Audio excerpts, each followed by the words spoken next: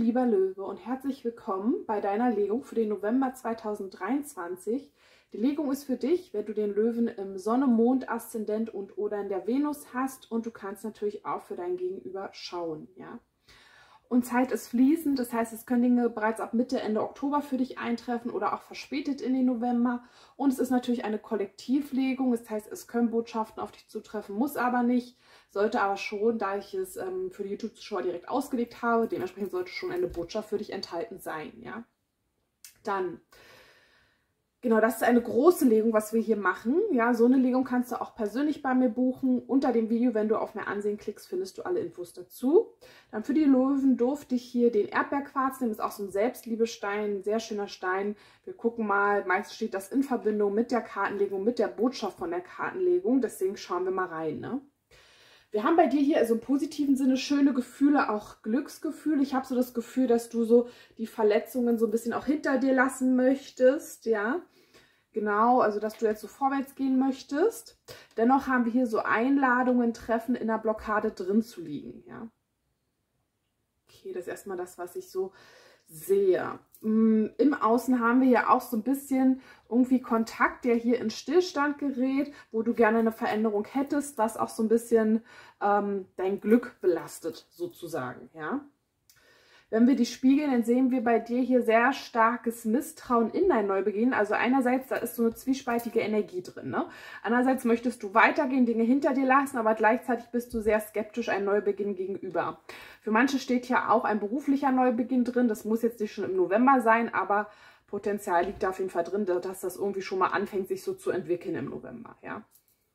Wir haben bei dir hier eben auch den Rückzug drin zu liegen, also von oben auch geführt. Das heißt schon, dass du dich eher zurückziehen solltest, um mehr Klarheit, um mehr Ruhe auch in dir selbst zu finden ne, und dir klarer zu werden, weil es geht ja auch im Zentrum um Klarheit, ja.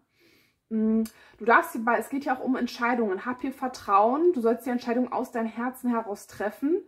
Dann kommt hier auch ähm, Klarheit und auch deine Wunscherfüllung auf dich zu. Ne? Dann haben wir hier auch viel Bewegung. Genau. Bei deinem Gegenüber, da haben wir das Partnerschaftsthema hier in der Belastung drin. Entweder möchte er oder sie einfach gerade keine Partnerschaft so in dem Sinne oder da sind einfach noch Themen, ne, die er oder sie eben bearbeiten darf. Auch hier sehe ich einen kontaktlichen Neubeginn, ist ja auch im Rückzug. Vielleicht, weil hier auch noch Kontakt mit einer anderen Frau ist, je nachdem, ne? Genau, oder einem Mann, wie auch immer. Mm. Und auch hier bei er oder sie, also dein Gegenüber macht sich ja auch, da geht es auch um Entscheidungen, Entscheidungen, die hier eben auch in die Wunscherfüllung fü führen dürfen. Aber ähm, dein Gegenüber ist hier sehr auch aufs Außen bezogen. Was denken die? Was sagen die anderen dazu? Also da ist auch eine sehr starke Blick noch nach außen und nicht so der Blick nach innen da. Genau. Okay, dann fahren wir mal dich lang. Also du bist hier aber auch sehr im Kopf. Du machst dir hier viele Gedanken, ja. Du darfst ja aber mehr auf deine Intuition hören und somit auch mehr auf deine weibliche Energie, die Weiblichkeit, die feminine Energie und ähm, ja, empfangen. Also davon ausgehen, dass die Dinge zu dir kommen mit den Schiffen. Ne? Aber da liegt auch so ein bisschen die Unruhe da. Das hat ja auch mit was mit Vertrauen zu tun, der Führung zu vertrauen, ja. Für die einen oder anderen geht es hier einmal um die Stabilität. Also dadurch gelangst du natürlich in die Stabilität bei dir selbst, so dieses sich bei sich selbst im inneren Frieden ja, zu sein, sich bei sich selbst wohlzufühlen, zu Hause zu fühlen. Und für die anderen geht es vielleicht auch im häuslichen Bereich darum, dass da gewisse Dinge sich auch ähm, verändern wollen. Und für die anderen ist es auch hier, dass hier eine Stabilität gewünscht ist mit diesem Gegenüber. Ja, das heißt, wenn du mehr in dieses Empfang kommst, dieses, ich gehe davon aus, dass die Dinge einfach zu mir kommen, das Schiff, was einfach die Ware bringt, was zu mir hinsegelt, ja, dann und dieses Vertrauen in die Führung, dann kommt hier auch mehr Stabilität mit deinem Gegenüber rein, ja.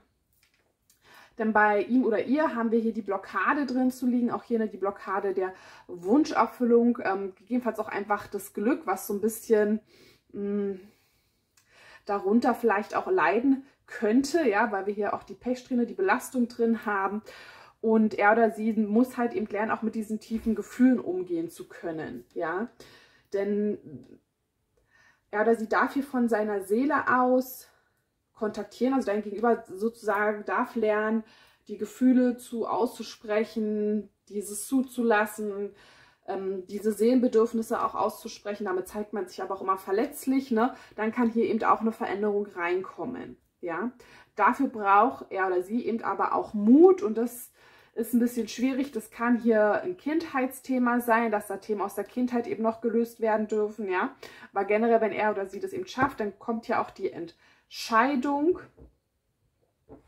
Hier verbindlich auch auf dir was Verbindliches anbieten zu können. Ne? Wir haben hier dann auch Treffen, die verbindlich sind, wo dann eben auch Bewegung reinkommt. Das große Glück, aber dennoch hier scheint hier auch noch was, entweder ist es auch ein Ex-Partner, Ex-Partnerin, irgendwas scheint da noch zu sein, was die Partnerschaft eben noch so ein bisschen blockiert. Und wie bin ich jetzt hier abgerutscht schon wieder? Mann, Mann, Mann. So, jetzt muss ich noch mal kurz gucken. Waren jetzt bei deinem Gegenüber. Genau, so ein bisschen die Pechsträhne, die Gefühle, diese tiefen Gefühle annehmen und diese auch zu kontaktieren äh, zu kommunizieren. Dann haben wir hier das, dass man dafür eben Mut braucht. Ne? Das kann hier mit der Kindheit zusammenhängen. Aber wenn er oder sie das überwindet, genau, dann haben wir die Entscheidung, dir was Verbindliches anzubieten, sich denen zu öffnen, damit treffen, die Bewegung mit den Treffen, das große Glück. Dennoch die Partnerschaft, hä, irgendwo biege ich hier immer falsch ab. Sag mal, kann doch nicht sein. Oder bin ich bei dir falsch abgebogen? Hä? Irgendwie Ach, Mensch, Konzentration, das hat alles seinen Grund, dass das auch so genau werden bei dir hier, dass du in die feminine Energie, dieses Empfang gehen darfst, vertrauen darfst, in die Führung vertrauen, dadurch kommt dann auch mehr Stabilität rein, genau. So, jetzt nochmal.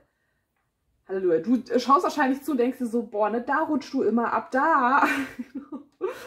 so, die Blockade. Hm. Hm.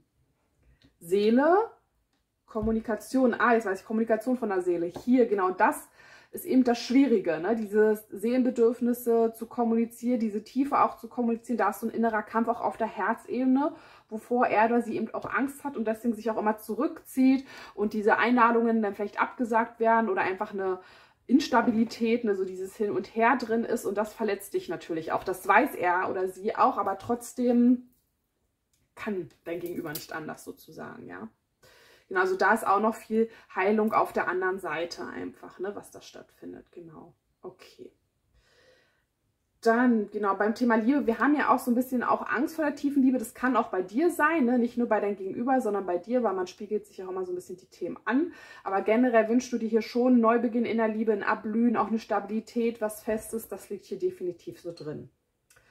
Partnerschaftsmäßig, wie gesagt, es kann auch sein, dass das Partnerschaftszimmer auch bei dir immer, entweder wirst du immer ausgewechselt durch eine andere Person oder eben, es zieht sich immer alles so ein Thema Partnerschaft und auch für dich scheint es aber auch gerade deswegen auch eine Überwindung zu sein, mutig zu sein, diese Gefühle sich auch verletzbar zu zeigen, ja.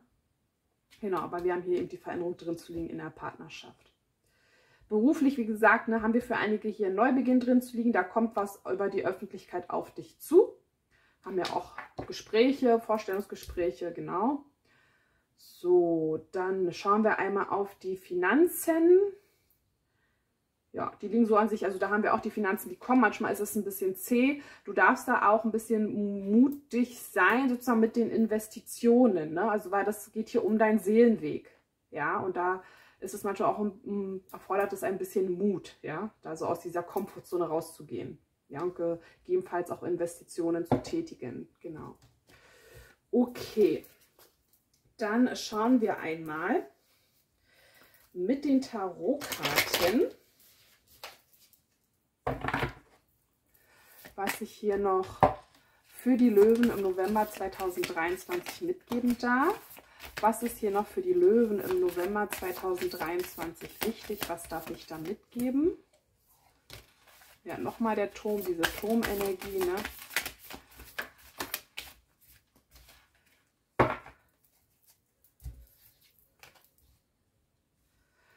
Genau, also wir haben hier das Gericht, das zeigt aber auch immer die Verbindung mit deinem höheren Selbst an. Also auch du darfst dich eben mit deiner, ja, andere sagen Seele, ne, also mit deinem höheren Selbst verbinden und hier auch mehr dadurch ins Gefühl kommen. Also ich kriege eher den König der Kelche eben rein. Klar kann das dein Gegenüber sein. Ja, wenn du da mehr mit dir selbst verbunden bist, mehr in dieser Empfang weiblichen Energie, kann er oder sie sich auch mehr gefühlvoll zeigen. Ja. Und äh, wie gesagt, du bist ja auch geführt von um, du empfängst ja auch Botschaften, auch wenn sich das alles eher so anfühlt wie ein Chaos und du denkst, ah, hm, das kann doch jetzt nicht sein was ist da jetzt der Sinn dahinter, etc. Es hat alles einen Sinn, auch wenn du den noch nicht siehst, sondern vertraue da wirklich auf die Führung.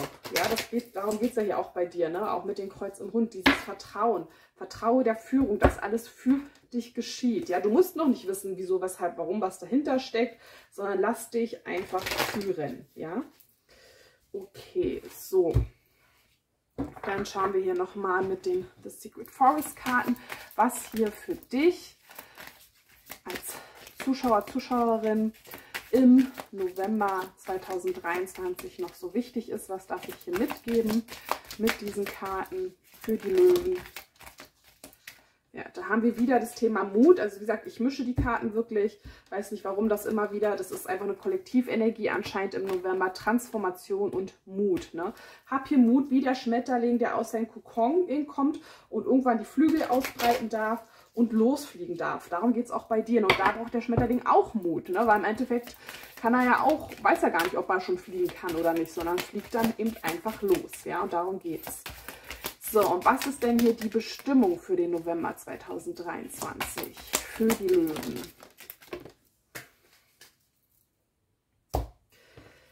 So, die dunkle Seite der Priesterin begegnet dir. Sei achtsam und bleibe auf dem Pfad des Lichts und der weißen Magie. Also kann sein, dass hier nochmal so ein paar Verführungen kommen, so ein paar Prüfungen kommen für den einen oder anderen. So, ich schaue mal, hier ist eine Karte noch runtergefallen.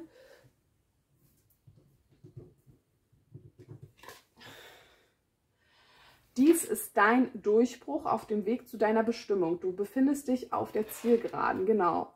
Gerade dann, wenn es sich so sehr chaosmäßig anfühlt, ist es eigentlich immer ein gutes Zeichen, weil man dann eben gut auf dem Weg ist, ja. Also, lieber Löwe, verlasse hier die Komfortzone, sei hier mutig, du als Löwe. Dir sollte das sehr leicht fallen, aber tatsächlich ist so, dass gerade die Löwen im Innern immer eigentlich fast die Zeichen sind, meiner Erfahrung nach, die ähm, am unsichersten, also die den wenigsten Selbstwert irgendwie haben und das wenigste Selbstvertrauen. Das ist eigentlich sehr schade. Ne? Also die Löwen sind immer die, die sich selbst so ein bisschen zurückstecken. Ja, und gar nicht so ihre, ihr Potenzial selbst anerkennen, ne? die da sehr Schwierigkeiten mit haben. Deswegen vertraue dir hier selbst, vertraue der Führung und sei hier mutig. Ne? Ja. Gute lieber Löwe, wenn du möchtest, kannst du meinen Kanal gerne abonnieren, dem Video einen Daumen nach oben geben und oder ein Emoji in die Kommentare hauen. Da freue ich mich drüber, ist eine schöne Wertschätzung. Und dann wünsche ich dir noch einen schönen Tag oder Abend und bis zum nächsten Mal. Bis dann.